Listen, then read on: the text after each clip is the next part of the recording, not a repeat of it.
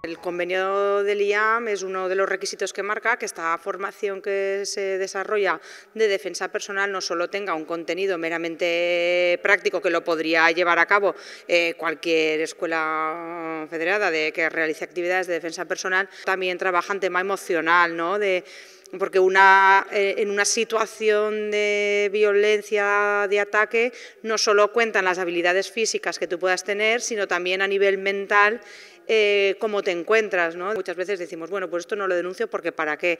Entendemos que agresión solo es algo físico y no, y son otras cosas, ¿no? y más hoy en día pues también con todo el tema, que también se abordará más adelante el tema de seguridad en las redes y al final no, no dejan de ser otro tipo de, de agresiones. ¿no? Animo a toda la ciudadanía de, que pertenece a estas tres, tres poblaciones que se apunten porque va a estar muy interesante y va a ser pues, con una gran calidad formativa. ¿no? La actividad se va a llevar en, a cabo en tres poblaciones de la comarca, serán el 10 de octubre en Más de las Matas, el 24 de octubre en Castelserás, y el 29 de octubre en Torrecilla de Alcaniz. ¿vale? Comentaros que hay un cuarto taller en Alcaniz que la fecha está aún por concretar, que será en el mes de noviembre y que está dirigido a los profesionales, ¿no? al profesional sanitario, de educación, de oficinas, etc. Estos talleres formativos se realizan a través de un convenio del Instituto Aragonés de la Mujer con fondos provenientes del Pacto de Estado contra la Violencia de Género,